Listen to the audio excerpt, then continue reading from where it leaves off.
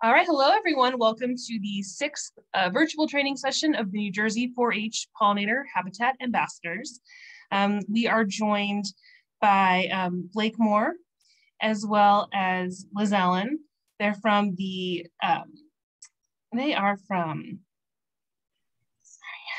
the UD Cooperative Extension. UD Cooperative Extension. Delaware yeah. Master Naturalist Program. You got it. So I'm sorry, I have Blake's bio. I don't have Liz's. So I'll okay. read Blake's quickly and then Liz, you can introduce yourself if that's okay. Okay. All right. Blake Moore was born and raised in Sussex County, Delaware, spending his youth in the small town of Bridgeville. He's a military veteran and we thank him for his service in support of Operation Iraqi Freedom. He served from May 2004 to November 2005. After returning from service, he graduated from the University of Delaware in 2007 with a Bachelor of Science in Natural Resource Management He's worked in the private sector and also as a noxious weed specialist in the Delaware Department of Ag's plant industry section. He is a certified nutrient consultant, a certified crop advisor, and a lead Delaware alumnus. And he's been with Delaware Cooperative Extension since 2019. So welcome. Thank you. Liz, would you like to introduce yourself? Yeah, I can introduce myself. So my name's Liz Allen. I'm a Delaware Master Naturalist. And uh, I also am an educator at Mount Cuba Center, which is a botanical garden that focuses on natives. And uh, I also have a small business where I do invasive removal and uh, plan gardens and do all the work related to making a garden. And uh, being obsessed, I have also converted my whole yard this is my backyard to a native pollinator garden. And um, I used to be a teacher. I used to teach high school ESL, uh, but that was a, a, long time ago. I did it for about a decade, and now I've moved into the plant world. So, excellent. Thank you for being with us. So I'm, I'm going right. to hand it over to Blake and Liz. Thank you so well, thank you very much for having us. We're really excited to talk about this. This is something that, you know, I've always, you know, growing up as a kid, I always was interested in, in insects and bees and, and just anything I could find in my yard. I lived in town, uh, in the small town of Bridgeville in Delaware, but I still found so many things to get involved with that I was just so excited um, to always just explore. And then as I got into my career, um, as you heard, I was in the private sector and I moved into state service. Now I'm working with the University of Delaware Cooperative Extension. And so now I get to have the same fun uh, that I had as a kid. So I'm really happy to share with you guys today uh, a little bit of presentation about pollinators, which you probably have um, some experience with so far. And then we'll also talk about how to maintain plots. And if my PowerPoint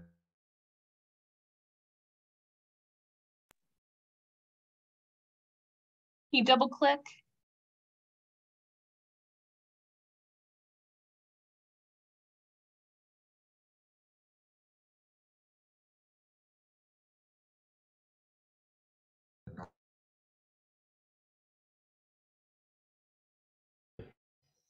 Okay, we are recording.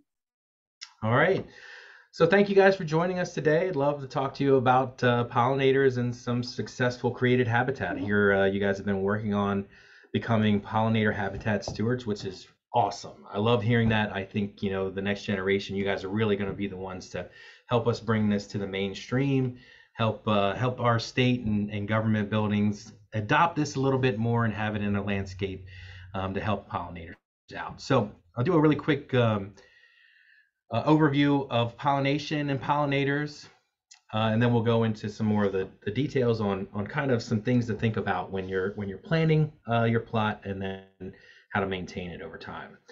Um, so by now you guys probably know what pollination is. It is uh, when pollen that is coming from the anther of a flower is received by the stigma and it goes down and um, fertilizes the the flower to create uh, whatever fruit the plant is is trying to do to create seeds for reproduction. I won't go into more detail than that, but that's the basic of it. And so there's two types of pollination. Um, there's self-pollination, which plants have the ability to pollinate themselves with no vector.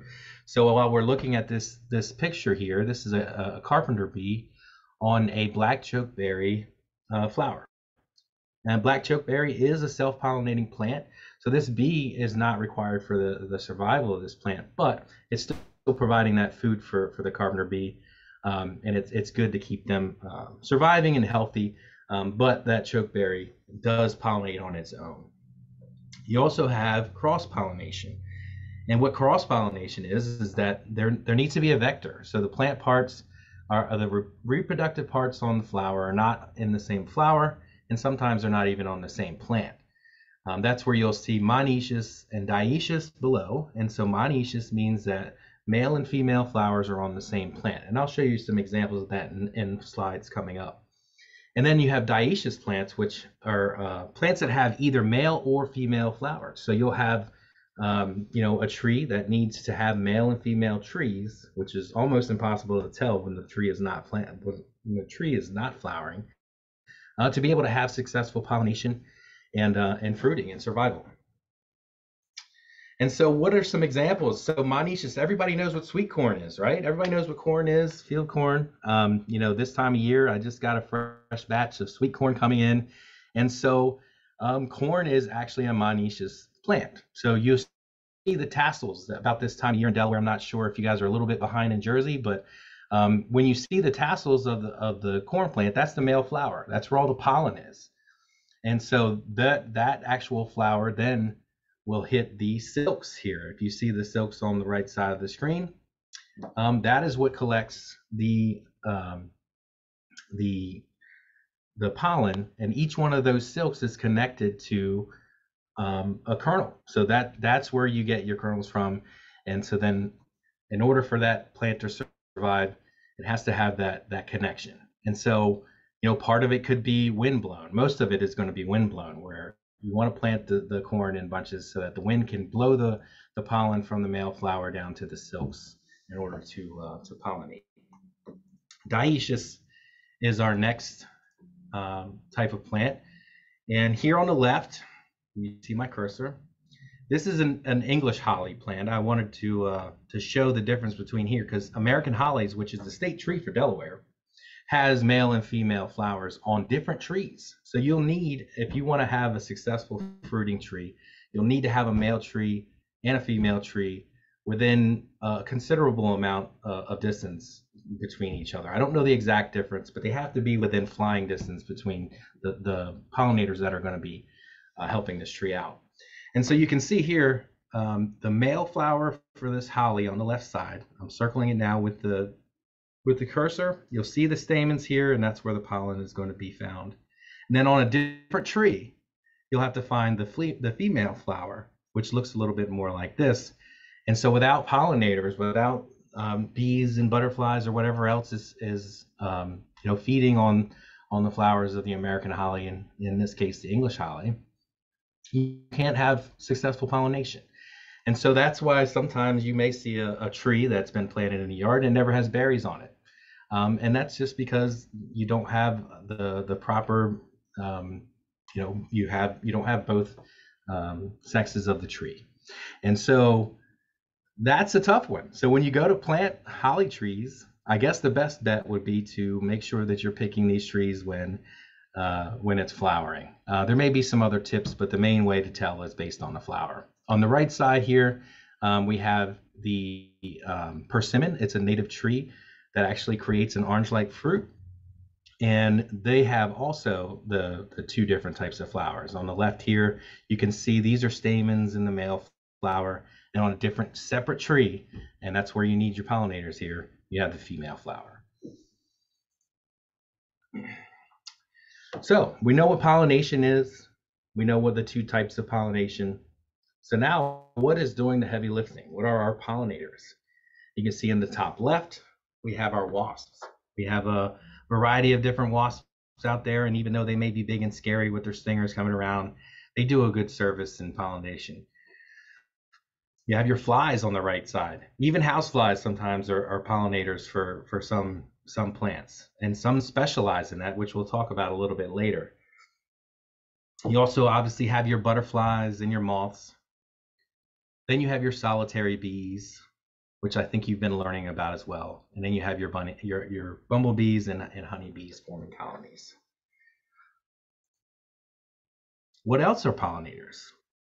Well, we also have certain types of bats that are pollinators across the world. You can see here we have some birds. It's a hard picture to see on the top left, but that's a hummingbird in my yard visiting my coral honeysuckle. Ants are another one. Um, we may not think of ants as, as pollinators, but sometimes they actually do serve that purpose. Uh, reptiles and amphibians sometimes will serve that purpose, and also the, the several mammals will do the same, such as lemurs in different parts of the world. But mainly what you're going to find doing the heavy lifting is going to be your insects. And so why pollen? You know, what are we, what, why is pollen such a, a big thing for insects and, and pollinators? Well, a lot of them use pollinators or pollen for food source. It's, it's a protein rich and they use it to feed themselves and feed their young. Then you ask yourself, well, do all pollinators use pollen? They do not. So a lot of times uh, pollinators will visit the flower for the purpose of sipping nectar, as the butterflies are. Butterflies do not eat pollen. Um, but they visit flowers and they get pollen on their legs when they're visiting to sip nectar. That's where you find that, that butterflies are not as good of a pollinator as your bee species because of the hairs that the bees have uh, to carry pollen there. And also they're collecting it for, for use, most of the bees are. And so now we want to talk about how do these plants attract pollinators because we have to get them there uh, in order to have the pollination take place. You know, color is some things. You can see that there's all different types of color flowers. Some are attracted to yellows or reds. You have shape. And so you have different uh, lengths of tongues on certain pollinators, whereas butterflies are having a longer uh, proboscis. And then you also have a uh, bees. Some of the bees have a, a, a longer tongue than others. And so bumblebees is a good example of that. You'll see some pictures later on about how bumblebees are going to be uh, attracted to certain types over over others. And the same thing with some of your your shorter tongue bees. They're not going to be able to they're not going to be able to, to sit nectar or gather out of this this flower down here, which is a, a scarlet bee balm. Um, but our ruby-throated hummingbird certainly can and certainly is attracted to this type of, of shape and color. Fragrance is another one. So here on the right side, you probably have not seen this flower ever in person, but this is the flower of a skunk cabbage, which is a native plant that grows into in some of our wooded wetland areas and some of the first things to bloom every year. And obviously, it's going to have a pretty uh, pretty nasty fragrance to it. That's why it's got its name, the skunk cabbage. But this is something where it's actually going to to attract flies and, and other types of things that are attracted to that type of smell. Obviously, there's some good fragrances as well out there that'll attract other types of pollinators. And then also nectar. So again, as we talked about earlier, how butterflies are coming to the plant for the nectar, not necessarily the pollen. And so that's that's how they they've uh, they do that trick. So flowers have their ways to get pollinators to them and make sure that they're gonna gonna help them survive and, and reproduce. So now that we've got that basic covered, let's talk about your, your successful pollinator habitats. Again, I really think it's great that you guys are taking on this mission to become pollinator habitat stewards because it's it's not a new concept, but it's definitely a newer mission where, where a lot of folks are getting involved in this and just trying to figure out the best ways to protect our pollinators who are coming to these areas that are going to be stressful areas because there's not as much protection, there's not as much variety um, you know, and it's a it's it's an area that we've got to try to provide as much as we can for for their survival. So some of the things that you're going to need to make sure that there's successful pollinator habitat is food sources. So as we mentioned, pollinators feed on nectar, they feed on pollen, but then you also are going to need to make sure that you have foliage for the larvae. Um, you've seen, you guys have, I've heard that you've learned about the monarch butterfly, and yet you know that, that the monarch needs milkweeds, and and mainly for the fact that the larvae are going to feed on the foliage of the milkweed plant. So, you know, we have to have those food sources there available. And again, as we talked about, you're going to need a variety of flower shapes in order to do that. So when you're selecting your species, trying to figure out the different shapes is, is definitely something you should should key in on. And I'll give you some examples in a little bit. Uh, you also want to provide nesting sites. Um, so rigid stems uh, left year round. You'll see a few of my uh, examples later on. Uh, of some some of the the flower species that have some pretty rigid stems. And if you can leave them standing, um, they are used as nesting sites for some of your some of your um, solitary bees. Also, loose dirt and leaf litter for ground nesting bees and butterflies and moths. Um, loose dirt, there will be a lot of, of native bee species that do um, create their, their nests in loose dirt areas. So they kind of avoid some of those heavily maintained lawns and things like that because there's too much compaction, there's too much going on there. So if you have a spot in your yard or maybe at your school that just has some more loose dirt there or some leaf litter, uh, it's a good it's a good idea to try to leave that. Um, and then for the leaf litter, especially, there's a lot of, of different types of moths and some butterflies that actually have their their larvae will actually do their metamorphosis over the wintertime in that leaf litter. Uh, water sources, sometimes we might not think about that, but we should have some type of water source for our, our pollinators. Um, they'll need that uh, for survival and reproduction. And then we'll talk about also varying bloom times. So you want to try to have as much of the growing season covered with blooms as you can. Um, and that goes from variety selection. So, you know, trying to find, um, you know, certain species that bloom earlier in the year. I, I tend to find that shrubs and trees are some of the more early bloomers. That's not the rule all across the board, but a lot of times I try to incorporate some shrubs and some trees in the, in the vicinity of your pollinator plot uh, to help with that early season. And I'll give you some examples as well. So I did kind of a timeline here. So the next couple of slides are going to be really kind of showing the things that I have in my yard or some things that I encounter um, that that just cover as much of the growing season as possible. And so all the way on the left here, you'll see there's a small, I believe that's a bumblebee or a carpenter bee visiting an eastern redbud. Eastern redbud is a great uh, tree that's native to the region and it blooms. I think I took this picture in April, it's mid-April, I think April 12th and you know it's within that vicinity sometimes earlier sometimes a little bit later and you get about two weeks of blooms two to three weeks of, of blooms on the eastern redbud just one example um, you know and i go out there and i take videos every year to see what's visiting and i'm always finding a bunch of different types of pollinators there. Um, you know mainly carpenter bees and honeybees see quite a few honeybees on the eastern redbud as well. Um, i don't you know again these species are there. They're providing the food source. I don't know the the full quality on all these plants of what that food source is, but it, just giving those options there for some of that early season uh, flower blooming is is definitely important. Um, in the middle, we have a black chokeberry, which is a native shrub. This picture was taken on May 8th, I believe, and I think this one was taken in 2020. But again, this this one blooms for a couple of weeks around that time frame. So now you had that transition from from the eastern redbud is there. Now the the um, the black chokeberry is there, and so now that that that gives a transition to the third one, which also blooms around the same time, early May. This is golden Alexander. Um, you'll see a, an option of this later, or an example of this later, of how the foliage is also used um, by pollinators reproducing. Um, and, and so you have a different color. Each one of these is a different color, different shape, and just just being there as an option for food source it's a little blurry, but in the center here, this is one of those green metallic sweat bees um, that's that's visiting this golden Alexander. And if you can see the rest of the plot, like there's still some dormant plants there. There's not a whole other, a lot of other flowers that are that are blooming at that time. So really having that early season blooms is pretty important. So when you're selecting, trying to find the earliest blooming periods that you can, and then go from there and kind of create your timeline. And so next, we move on into a little bit more in late May. I've got clethra over here on the left and some early sunflower on the right.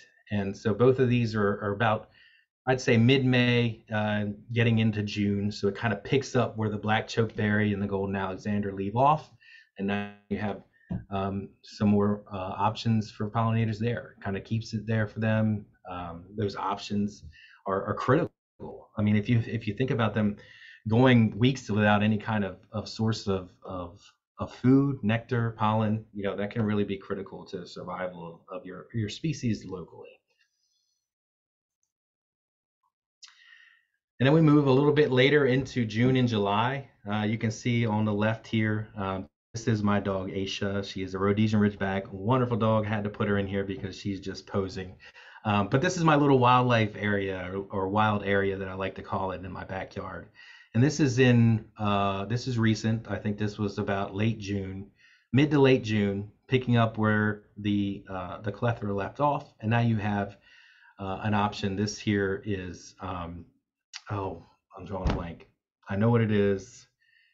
It is elderberry. That's right. So this is elderberry, and elderberry is actually a pretty um, a flexible tree or shrub. It's a small small tree shrub.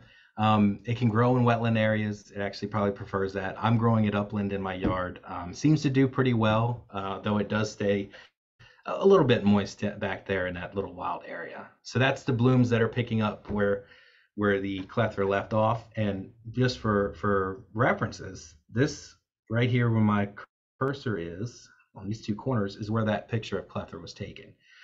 And in the middle is where the golden Alexander was. So I've had blooms in all locations so far. This is picking up there. And then um, next to that, you'll see examples here. There's there's uh, Joe Pye weed I have back here that's not bloomed yet. I think it's it's blooming now, but it hadn't been blooming back in June. And there's some ironweed and other things like that that'll bloom a little bit later in the season. So it's a little overcrowded. I don't I don't suggest uh, crowding your plot kind of like that, but still kind of just showing those different times uh, of blooms that's going to be helpful. A different part of my yard, I have some wild bergamot, which is a mint, a native mint, and it is those longer tongue bees are going to like this this uh, flower. It, it, they're going to need that because the nectar is kind of down in that in that in that flower tube, and and that's going to be helpful for them. This was taken, and you can see it just here. This is a bumblebee here. Um, they are usually loaded up with those, and those blooms come around uh, about this time of year. They're probably they've probably been blooming for about a week, so I'd say end of June um, and through through July into August. These these flowers will be blooming, and actually might be even later than that. And next is the trumpet creeper vine, another native vine that that grows. It is aggressive, I will warn you. But um, if there are any areas that you feel like you can stick some some vines in, there's some pretty pretty uh, good vine uh, selections that are native to this area. Um, but this one will start blooming um, end of June, and it'll actually bloom all the way through October. So this is a nice long powerhouse towards the end of the season on, let me go back one real quick. And so this one obviously is a favorite for for your hummingbirds. So hummingbirds love this.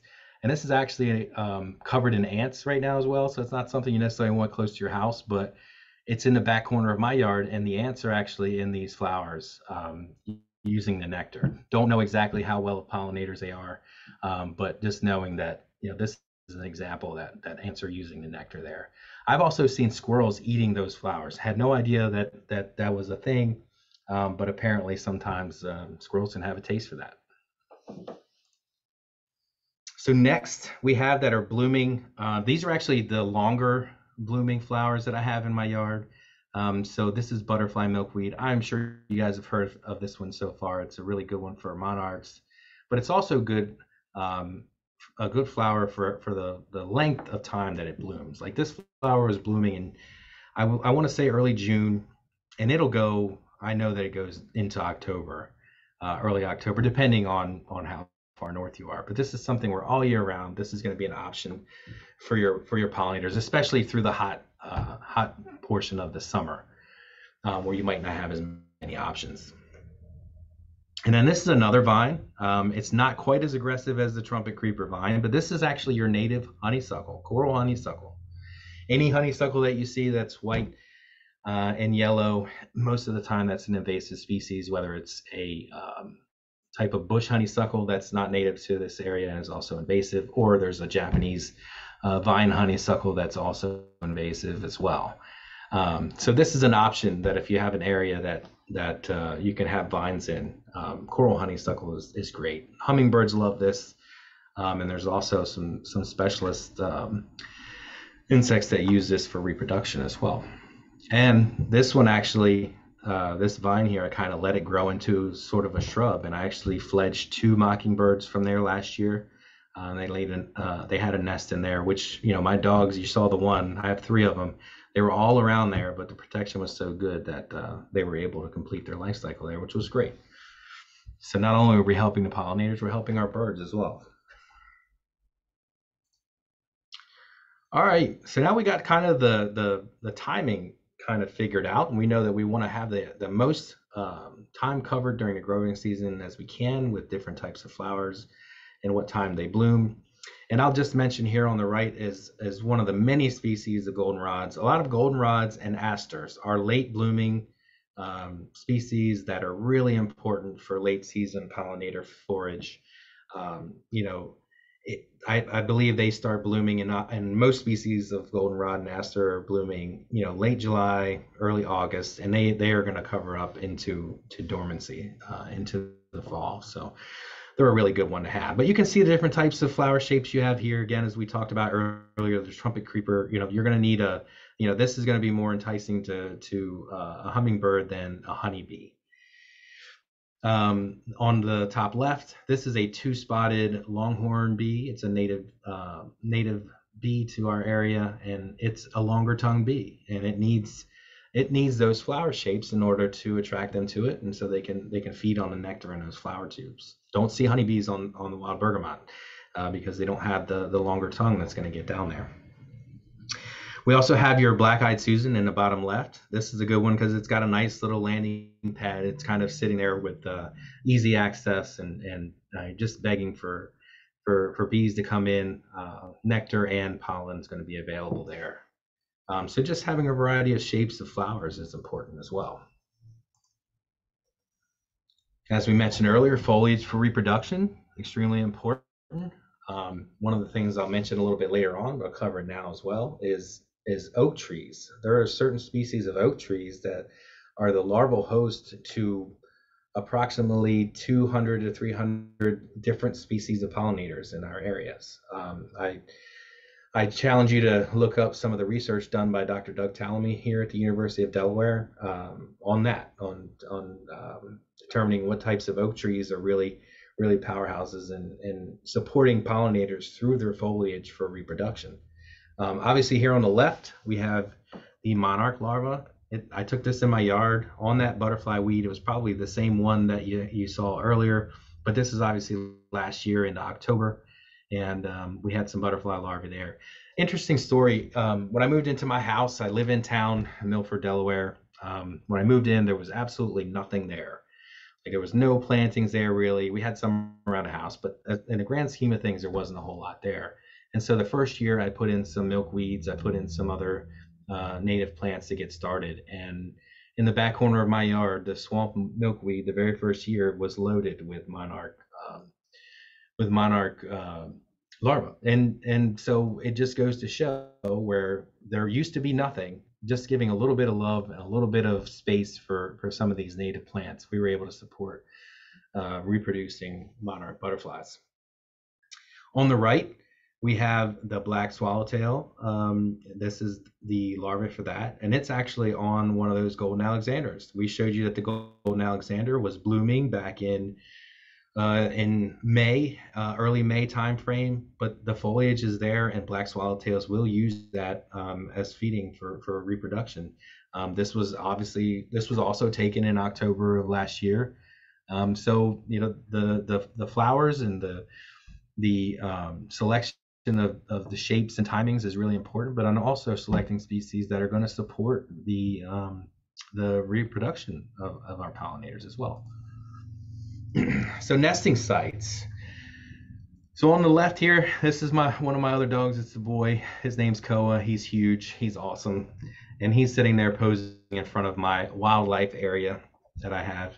Um, but this is in February, so you can see it still looks a little messy. So again, I'm not suggesting that you keep your pollinator plots looking this this messy, but the point here really is to kind of point out that there's dormant stems that are there that are going to be used as nesting sites for bees similar to what you see in the center, how you can do your bee boxes and things like that. I challenge you to take a look at some of the the the um, the makeups of those because you can make those on your own. You can buy them at the store, but the dormant stems are really what's serving that purpose um, in in nature, right? So if we leave that there, they're going to be used for that purpose. And all the way on the right, you can't really see it, but this is some, this is dormant switchgrass. And that is the same thing that's right here. It's actually the same plant. This is in May. But this thing, I took a video and I tried to take a picture, but you can't see it because it's so small. But right here, going into that entrance, is one of our uh, native solitary bees. I don't know exactly what kind it was, but this plant was loaded with them. They were flying everywhere. They were obviously using those dormant stems. If I had cut them and removed them, you know, I would I removed, you know, countless number of, of you know, whether it's just resting habitat there for them or whether it's nesting sites. Um, you know, I I was removing that from them. Another cool thing is is that every winter I like to go out back and, and take a look at what's using the yard still birds are in and out of that little section there all the time, even with my dogs there. Um, you know, eating the seeds that are left that are left standing on those dormant stems. They're also bedding down in there sometimes in order to to keep away from the weather. Um, you know, it's just really awesome to see in the middle of town where something where nothing used to exist there, and now we're able to create that habitat for, for not only pollinators but some of our bird species as well. All right, so now we've got our plot. Now we've got our plants selected. We're going to have blooms starting at the end of March and early April, and it's going to go all the way to October. Sometimes we get lucky into November a little bit, depending on the weather. And so we've kept we, we've kept up our end of the bargain. We've we provided the food sources. We provided the nesting source, the nesting sites. Uh, we we've got everything in place to make sure that we have some successful pollinator habitat. So now we've got to maintain those plots. And as you see, my my maintenance on my own personal plots is a little less than say some of your more traveled areas because you're going to still need to make sure that uh, the plots look nice because obviously some folks think that you know it looks a little messy. You know, for me it's peaceful. For for others, um, it may not be so. Um, so first thing, getting the the the plot established and heavily I really suggest trying to, if you're doing any kind of plot, is trying to fill as much of the area as you can. Um, helps with weed control. Also helps uh, with with more um, protection for for the pollinators when they're visiting the area, less predation, things like that. Um, so once once it's established, uh, most native plants are going to have really deep uh, root root systems. So you're not going to need to water this area a lot. I just say you know keep keep your eye on it, and if you're seeing any of the species start to wilt, um, you know, then maybe get some water on it. But really, just kind of you know, watering when you first plant for for until they're established. You know, the watering requirements for those areas is not as much. One of the things I ran into this year, I planted a plot in a park that does not have water access to it. So that's another thing you want to think about if you're going to need to water those sites is how you're going to do that. I selected buying a sprayer. Um, you know, that's usually that's normally used for herbicides, and I got a big enough one that's battery powered that I'm using just for water. Um, and that seems to have been worked out pretty well for us. It's a smaller site, so if you're having a bigger site done, um, you know, you may be different. And now, mind you, most of these plots that I'm talking about right now are established through plugs. So I'm talking about smaller plug, uh, smaller plots that have been uh, established with plugs. If you're doing bigger ones, like bigger meadows and things like that, that's a whole other set of things. But for pollinator uh, habitat stewards, the things that I believe that we're doing, um, plugs is usually the way to go. And this is the type of thing that we can take, we can do to make sure they're successful.